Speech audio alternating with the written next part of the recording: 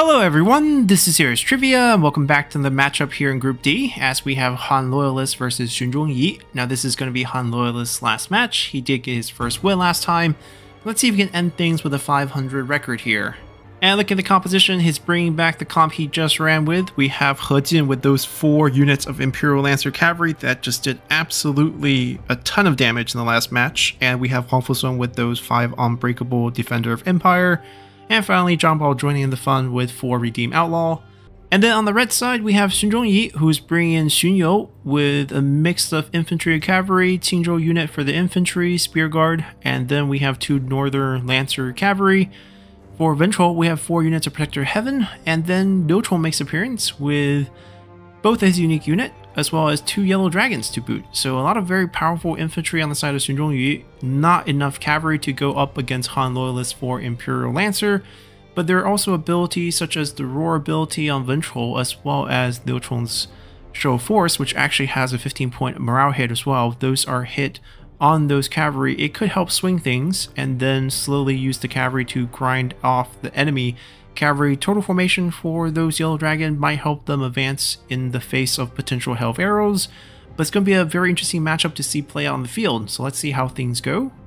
And looking at deployment, we have Han Loyalists with a pretty defensive setup here, a small scouting party, Northern Lancer Cavalry moving up, but the rest of Xun forces are behind, and we'll see if he can get some poke in with Liu Chong early on.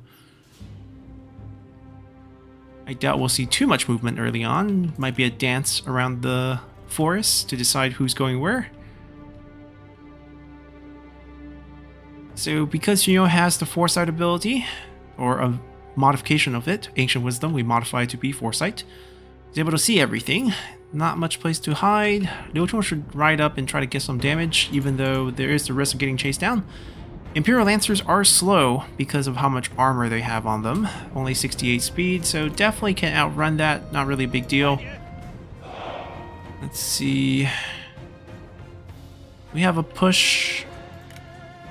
These are still hidden, so no idea where they are. Dragon Ball is an interesting case. He's being brought a couple times. Increased speed is helpful. Way of Thunder, not so much. Lord of the Land, decent splash damage. Alright, we have Escort for show of force, and just run in one direction, straight line, straight lines, straight lines. Yep, and you got the misses. Now is the time to charge. Full minute, a full minute. Let's charge. Cavalry? There is one crossbow unit that's a little, gonna be like a bit pesky. They're gonna actually shred the cavalry pretty easily. Ooh, got the bow usage. But they're running in a very interesting direction, right.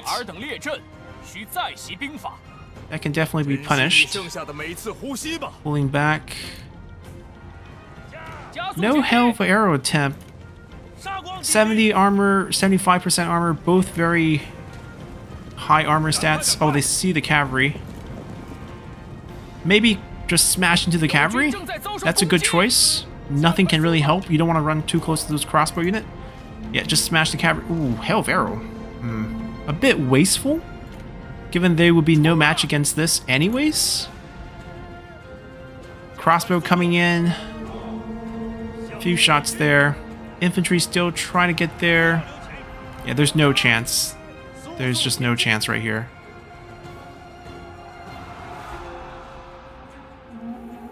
Got some bow usage.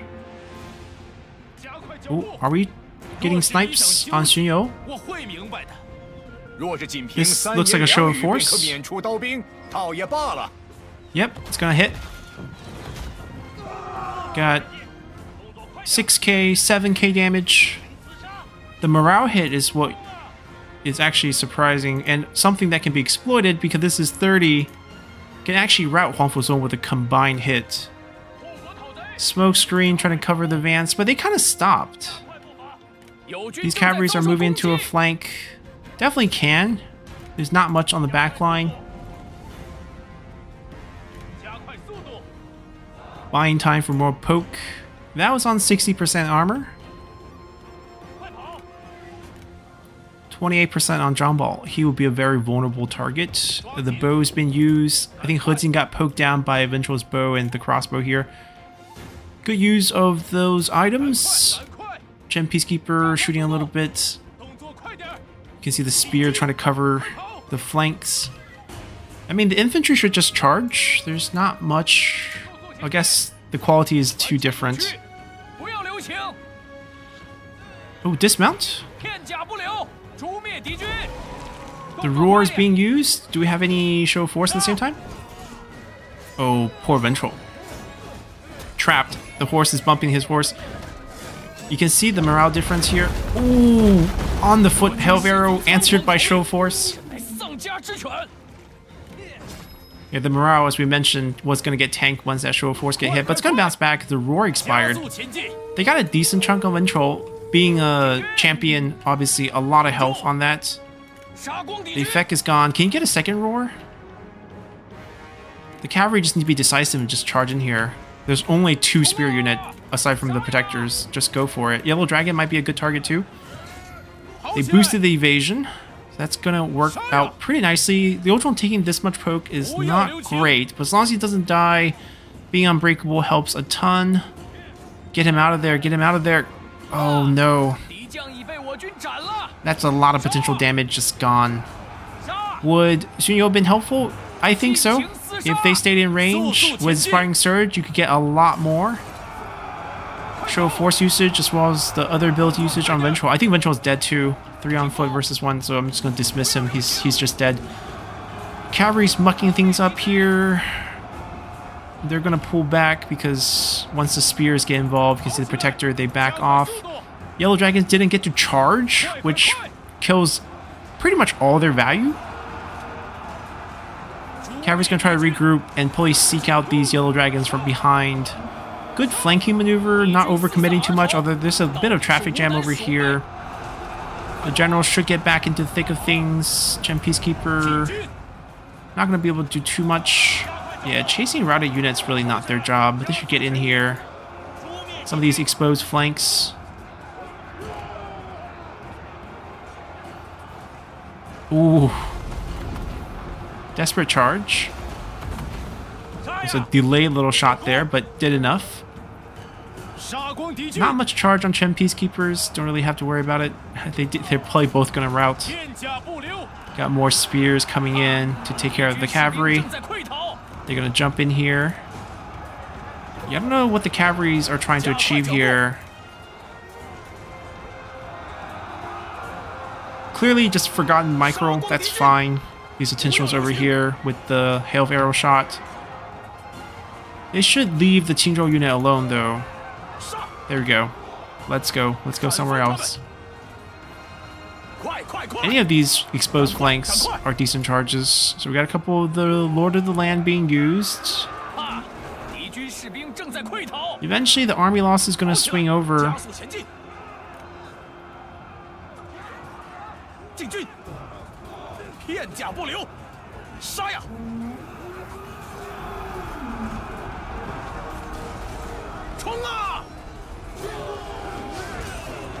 Wow. He just took that guy's glaive and stuck into the body.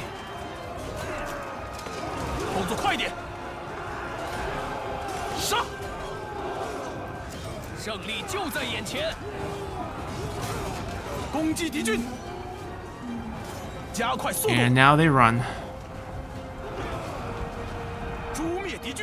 That might be it. Yep. Gotta see quite a cool killing animation there. This guy right here. Yeah, He Jin meant business. The fight was very interesting. I think the combination Xun Zhongyi was bringing here with Liu Chong and Wen Chou definitely can work. The timing was a little bit off. Xun Yu not going with the general feels a bit pointless. I feel like in a setup where you could bring any general since this is a blind pick situation, you want someone, I guess right now Turn of the Tide was what's being valued, but even in that case, you kind of want to engage the troop. Yellow Dragon not being used properly at all, they basically were standing there as frontline, got charged. They are basically charging units. If they don't get charged, there's no value on them, and they're very expensive for how fragile they are in terms of defensive stats. So get that charge out, dish the damage, and use them properly. Uh, Xun here, the unit he brought, there was nothing... There's just no reason why he had to be the general, aside for turning the tide. I think the better value will probably be on Guo Jia, a general like that, where you can do Wisdom River. Uh, Inspiring Surge wasn't taken full advantage of as well. Guo Jia's case, you wouldn't have Inspiring Surge, but in this case, Inspiring Surge wasn't used, which is why I'm making that argument. Uh, you would probably brought him up a bit more. So if he was brought up together with the generals, or just so that when they're doing the poke, he's around to kind of shorten their cooldown so that you could do a bit more of those poking jobs. Um, I don't know how static defense you want it to be against those Imperial Lancers. Once again, proven to be very capable if they find the right targets, as Han Loyalists is able to do two matches in a row, and that's going to wrap up Han Loyalists group play as he will end the stage 2 and 2. We still have two very important matches coming up. Yulia is going to be faced off against Trevenicus next. If Yulia wins, she secures the tiebreaker with Trevenicus for sure, even though she would just be 3 and 0 versus a 3 and 1 record. Doesn't matter if she loses her last match, she would have to tiebreak win over Trevenicus and win the group. If Trevenicus win, he would end up undefeated, and then Yulia will be battling for a shot at second place. Uh, with whatever record she ends up, or whatever time she ends up with, she'll be a three and one record if she wins that match. If not, she'll be dropped to two and two and we'll see if Xun Zhongyi can improve his record as well here. And this group is going to be a tight race for the top. Next match going to determine it. Hope you guys enjoyed it, and see you guys then. Bye.